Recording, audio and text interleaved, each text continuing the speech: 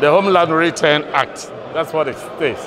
Basically, it's, uh, it's an act that we are hoping when it is out will streamline what we have been doing already, the processes, and you know, of course, fully define the criteria for anyone in the diaspora looking to come back to Ghana and you know, living with us, investing with us, and then, of course, contributing towards our um, development. So that is what the Homeland Act is out to address. Before the Homeland Act, okay, it's also important to realize that we have the, the what do you call it? There are other opportunities for people to relate to the country.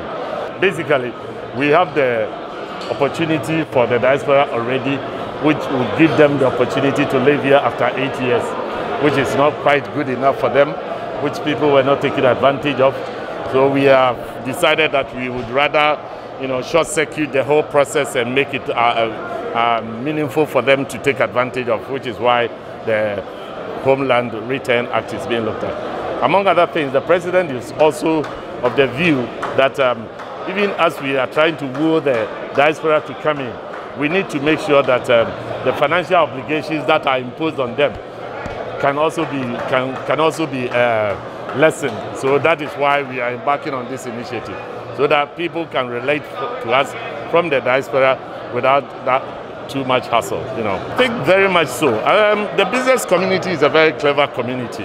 You may recognize that um, they tend to go to where it is very reasonable for them to go, and on, on the evidence that is so far available, that is what they are doing.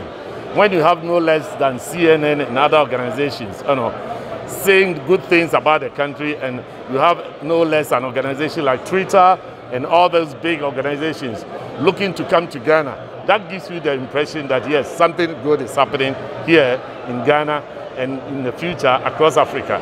So this is the place for growth. This is the place that one can really get something out of their investment. I mean, those of us who have lived out there know, for instance, that with your savings and with your basic, you know, uh, investment, the returns that you get on it is virtually negligible.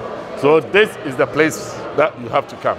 The key sectors of growth that we already, you know, uh, by this initiative of the year of return and beyond the return, are highlighting on our hospitality and the tourism sector as a major place where, you know, we should be preparing ourselves for the influx, for those who will be coming in, for them to be able to do all the things that they can do.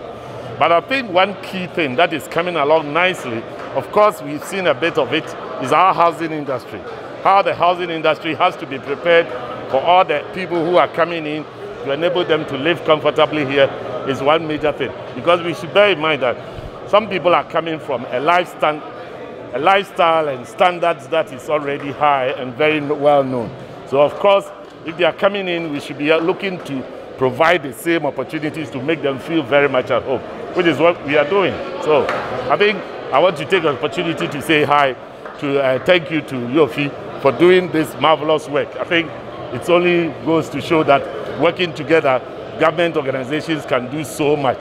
And I'm excited that he's provided that opportunity for all of us to think for once, forget about everything and think investment, investment.